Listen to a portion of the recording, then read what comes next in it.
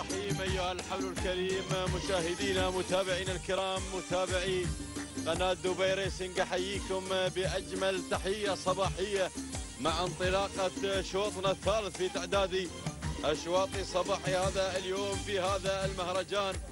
مهرجان من قيوين الحادي عشر لسباقات الهجن العربية الأصيلة من هنا من أرضية هذا الميدان ميدان اللبسة الشوط الثالث وهو الشوط الخاص بالحجائج الإبكار.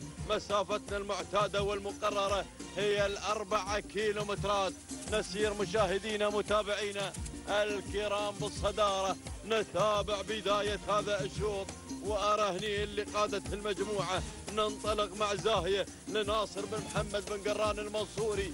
ننطلق مع المركز الثاني. وأرى هني ليالي مع المركز الثاني. لأحمد بن سعيد بن منانة من يتابع المركز الثاني.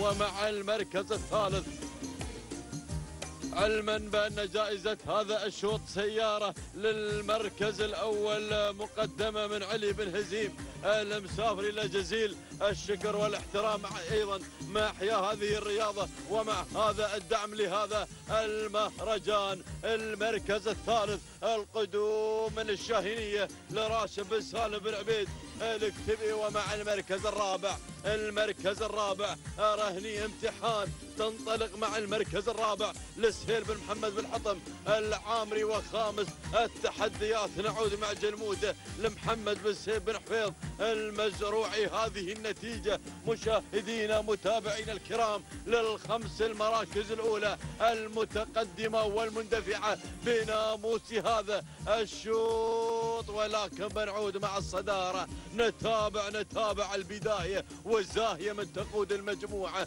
زاهية من تسيطر كل السيطرة على مجريات هذا الشوط بهذا الشعار شعار ناصر بن محمد بن قران المنصوري. ولكن أرى هني ليالي مع المركز الثاني أحمد بن سعيد بن منانة. وأرى التسلل أرى التسلل من الشاهينية راشد بن سالم بن عبيد بن عيد الكتبي اللي ينطلق أيضا مع التحديات المثيرة والقدوم من جلمودة لمحمد بن سعيد بن حفيظ المزروعي ومع المركز الخامس المركز الخامس التحديات لامتحان لسهيل بن محمد بالحطم العامري التحديات رائعة الانطلاقات مثيرة مع هذه الكوكبة الخماسية الماسية اللي تنطلق على أرضية هذا الميدان. يا سلام وزاهية على رأس الحربة يا الرشوط يا الرشوط